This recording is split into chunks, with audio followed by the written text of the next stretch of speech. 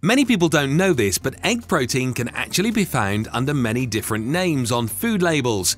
Most commonly, it's listed as egg protein or egg albumin. A medium egg weighs 50 to 60 grams and has 6 to 7 grams of protein. The yolk comprises just north of 15% of the egg's protein, while the white is 11% of the total egg protein.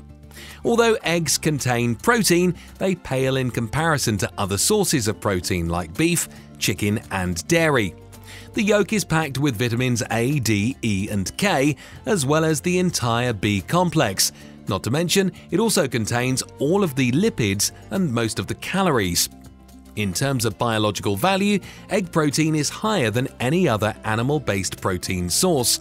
It means that your body can make use of more of the amino acids provided by eggs.